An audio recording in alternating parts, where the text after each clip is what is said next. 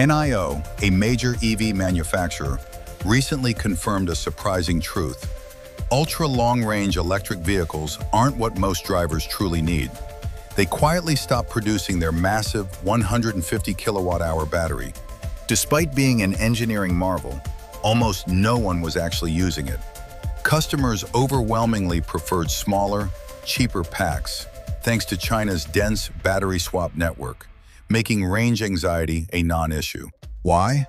Because real-world driving needs are far lower than our mental models. The average person drives only 30 to 40 miles daily, a fraction of what most EVs already offer. NIO's experience highlights a crucial point. The future of EVs isn't about ultra-long-range batteries. It's about smart charging, accessible infrastructure, and effortless vehicle topping up. Bigger batteries add significant cost, weight, and embodied carbon. They often don't solve a problem that most drivers genuinely have, proving to be an inefficient solution. Home charging, especially for fleets, significantly reduces the total cost of ownership. It ensures drivers have all the charge they need for the vast majority of their use cases. As infrastructure expands, range anxiety becomes less about technology and more about psychology.